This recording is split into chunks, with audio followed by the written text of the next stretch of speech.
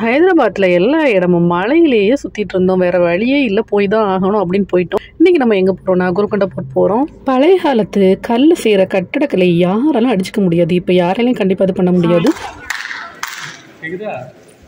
இங்கே வந்து நம்ம ஒரு இடத்துல நின்று தட்டினோன்னா அப்படியே அது வந்து நமக்கு திரும்ப கேட்கும். அந்த மாதிரி அழகாக பழைய காலத்திலேயே எக்கோ சிஸ்டம் பண்ணியிருக்காங்க இது எதுக்காகனா எதிரிங்க வரும்போது அதை அலர்ட் பண்ணுறதுக்கு அப்படின்னு ஒருத்தங்க சொன்னாங்க. ஆனால் கரெக்டானு எனக்கு தெரியல.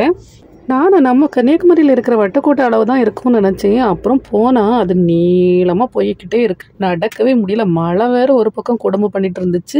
ஆனாலும் அந்த மலையில் நடக்கும்போது ஒரு சுகம்தான் தனியாக நம்ம பிள்ளைங்க என்ன பண்ணுவாங்க? எங்கே தண்ணி இருக்கோ அந்த இடம் பார்த்தா நடப்பாங்க.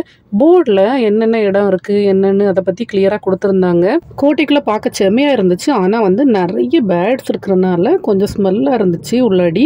இந்த இடத்த பாருங்களேன். சூரிய ஒளி உள்ளாடி வர மாதிரி அழகாக கட்டியிருக்காங்க. அது வந்து பார்க்கும்போது ரொம்ப அருமையாக இருந்துச்சு. சுற்றி சுற்றி எங்கே போனாலும் ஒரே இடத்துக்கு திரும்ப வந்த மாதிரியே தோணுச்சு. எனக்கு கொஞ்சம் தலை வேற சுத்திடுச்சு அப்படியே. கார்த்திக் குஷ்பு கூடல ஓடி பிடிச்சி விளையாடுவாரே. நம்ம பத்மநாதபுரம் கோட்டை மாதிரி இருந்துச்சு.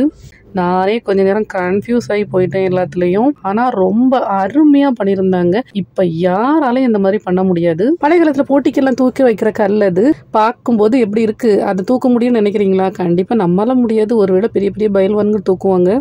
மூவி எல்லாம் ஷூட் பண்ண செமையான இடம் இது. இங்கே வந்து மூவி எடுத்திருக்காங்களான்னு எனக்கு தெரியல. யார் யாராவது இந்த வீடியோ பார்க்குறவங்க உங்களுக்கு தெரிஞ்சா என்ன மூவி இங்கே எடுத்திருக்காங்கன்னு எனக்கு கீழே கமெண்ட்ல சொல்லுங்க. அப்படியே பார்க்கும்போது கண் எடுக்க முடியாத அளவு அப்படி ஒரு அழகு. இந்த ஸ்டெப் இருக்கு பார்த்தீங்களா இது ரொம்ப உயரமாக போயிட்டு இருந்துச்சு எனக்கு ஒத்துக்காதுன்னு தெரியும். நான் அதனால் போகல. என் தம்பியும் என் குழந்தைங்க எல்லாரும் போனாங்க. நான் போகல. கீழே சைடில் ஒதுங்கி இருந்தேன் அப்படியே. அவங்களுமே ஃபுல்லாக ஸ்டெப் ஏறல. பாதி வரைக்கும் போயிட்டு திரும்ப வந்துட்டாங்க. ஒரு பாட்டு பாடிடுறேன். வீட்டு இல்லாத மாற்றம் என்னது? காற்று என் காதில் ஏதோ சொன்னது. பாய்